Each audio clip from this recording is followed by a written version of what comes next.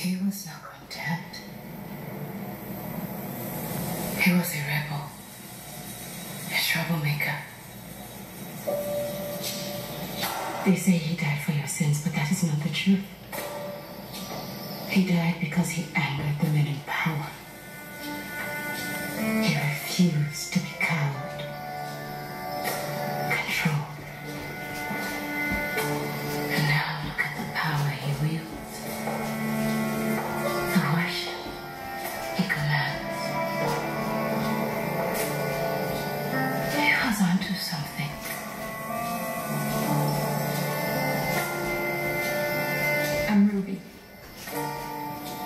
Every good child.